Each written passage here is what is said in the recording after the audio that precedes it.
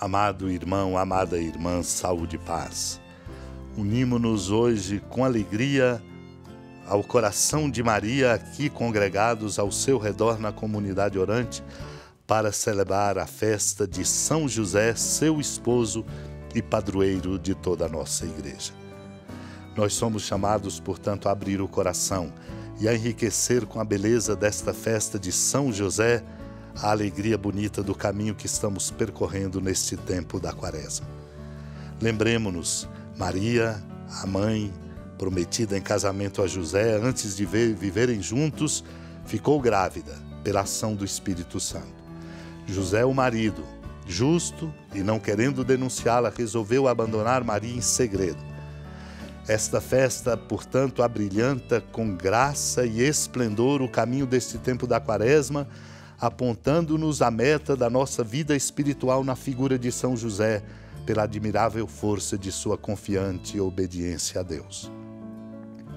Enriqueçamos-nos com o que encontramos no comentário sobre o Diatessaron de Santo Efrem, um diácono. Ele comenta: José, filho de Davi, coisa maravilhosa que o anjo chame a ele também filho de Davi, recordando-lhe assim o primeiro dos seus ancestrais, aquele Davi a quem Deus prometera suscitar o Messias segundo a carne do fruto de suas entranhas. Não tenhas receio de receber Maria, tua esposa. O que nela foi gerado vem do Espírito Santo. José, porque era um homem justo, não quis denunciar Maria publicamente. Sim, mas sua justiça estaria em contradição flagrante com a lei. Tua mão, diz Moisés, será a primeira a tirar-lhe uma pedra.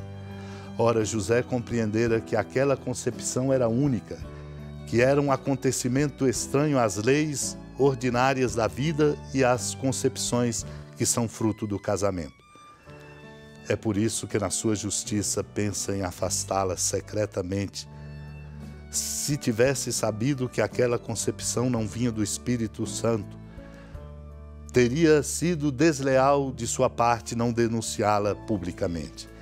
Ele compreendeu que estava em face de uma esplêndida iniciativa de Deus. Contudo, como isso não seria admissível para os outros, pensou consigo mesmo que era justo afastar Maria, receando que a obra de Deus pudesse ser maculada se habitassem sob o mesmo teto. Mas pensou, meu irmão, minha irmã, sobretudo em afastá-la, a fim de não incorrer no pecado de deixar que o chamassem pai do que era filho de Deus temia habitar com sua esposa, temendo desonrar o nome do filho da Virgem. É por isso que o anjo lhe diz: Não tenhas receio de receber Maria como tua esposa. Jacó gerou José, o esposo de Maria, da qual nasceu Jesus, que é chamado o Cristo.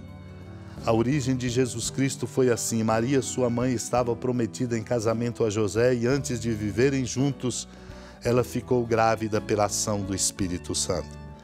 José, seu marido, era justo e, não querendo denunciá-la, resolveu abandonar Maria em segredo. Enquanto José pensava nisso, eis que o anjo do Senhor apareceu-lhe em sonho e lhe disse: José, filho de Davi, não tenhas medo de receber Maria como tua esposa, porque ela concebeu pela ação do Espírito Santo. Ela dará à luz um filho e tu lhe darás o nome de Jesus, pois ele vai salvar o seu povo dos seus pecados. Quando acordou, José fez conforme o anjo do Senhor havia mandado. Amado e amada de Deus, a obediência de José é para nós, portanto, o horizonte do nosso caminho de conversão. Ali estava ele, diante de Maria, prometida a ele em casamento, e antes de viverem juntos, ficou grávida pela ação do Espírito Santo. Ele era justo, não queria denunciá-la, resolveu abandoná-la em segredo exatamente por compreender o grande mistério e reverenciar este mistério em Maria. Enquanto pensava nisso, apareceu-lhe o anjo e lhe diz: José, filho de Davi, não tenhas medo de receber Maria como tua esposa, porque ela concebeu pela ação do Espírito Santo. e dá a ele a condição de compreender que dela nascerá o Filho, e ele será Jesus, salvará o povo de seus pecados. José, ao acordar, fez conforme o anjo havia mandado. Ele compreendeu, portanto, a beleza do amor de Deus nela manifestado. Vale guardar, portanto, meu irmão, minha irmã, no fundo do coração, a riqueza das reflexões encontradas nos escritos sermões de São Bernardino de Sena, quando nos diz: Consideremos São José diante de toda a Igreja de Cristo. Acaso não é ele o homem especialmente escolhido por quem e sob cuja proteção se realizou a entrada de Cristo no mundo de modo digno e honesto?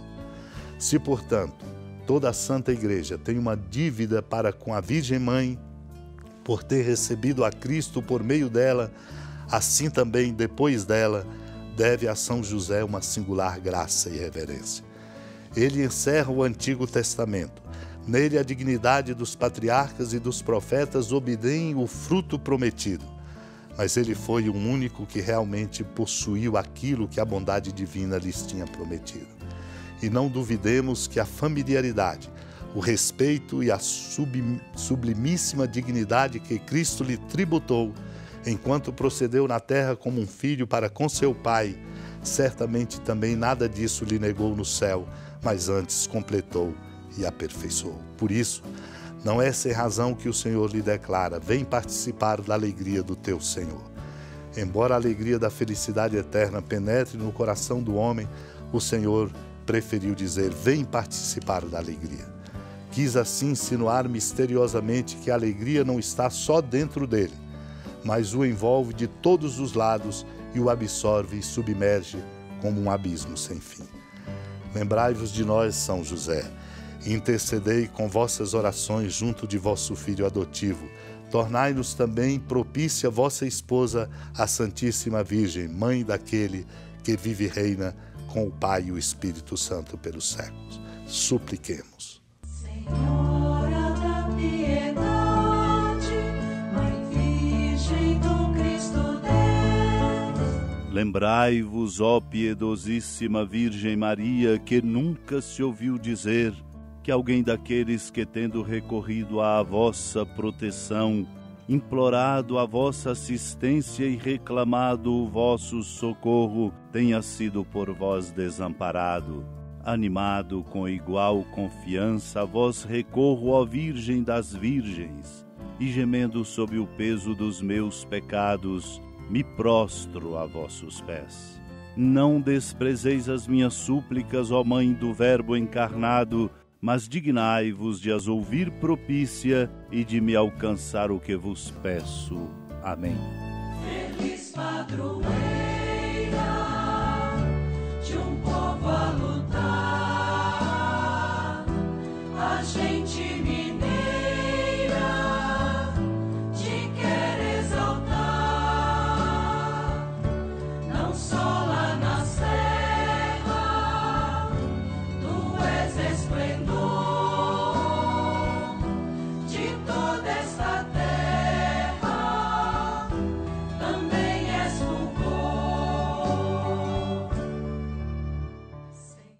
Amado irmão, amada irmã, com alegria do Santuário Basílica da Padroeira do Estado de Minas Gerais, a Senhora da Piedade, que da sua casa de clemência e bondade nos acompanhe e nos abençoa do alto da serra, magnífica arquitetura divina, a bênção de Deus, amor misericordioso.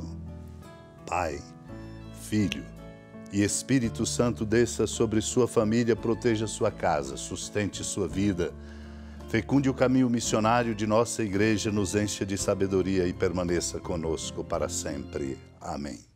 Feliz padroeira